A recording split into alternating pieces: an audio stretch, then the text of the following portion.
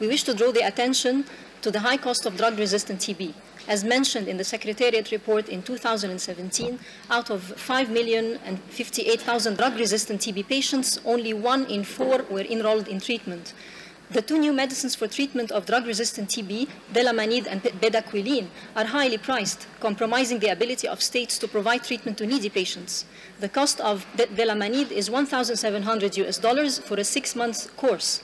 South Africa negotiated and reduced the price of bedaquiline to 400 US dollars at the time when research has shown that it could be produced and sold at a profit for only 16 US dollars per month at volumes of 108,000 treatment courses per year. Bedaquiline is patented in most of the high-burden countries such as India, China, Russia, and South Africa. We call upon member states to make use of legitimate TRIPS flexibilities such as compulsory licensing or government use to ensure access at affordable prices rather than relying on unsustainable donation programs. Also, countries where TB medicines are not patented should explore opportunities for generic production to supply those with high TB burden. Finally, we express our concern that the board of Stop TB Partnership, which is one of the WHO's partners, is represented in this assembly by a pharmaceutical company which manufactures bedaquiline. Thank you, Madam Chair.